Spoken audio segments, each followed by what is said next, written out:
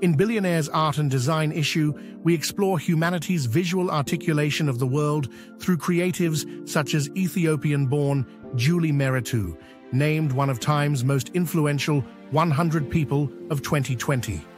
In an increasingly digitized world, can art and design give us the sense of place, the grounding, the recognizable home we crave? This is an idea we explore in this issue, themed around art and design, with the inimitable Mehretu as our cover star.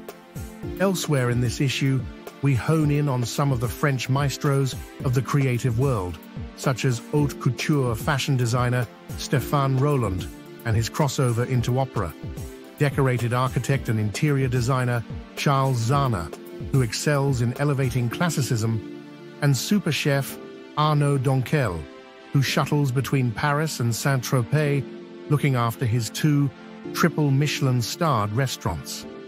We deep dive into the good, bad, and downright tacky at arguably the world's most famous art gathering, the Venice Biennale, and look at the lauded newcomers at this year's PAD Art and Design Fair in London's Berkeley Square.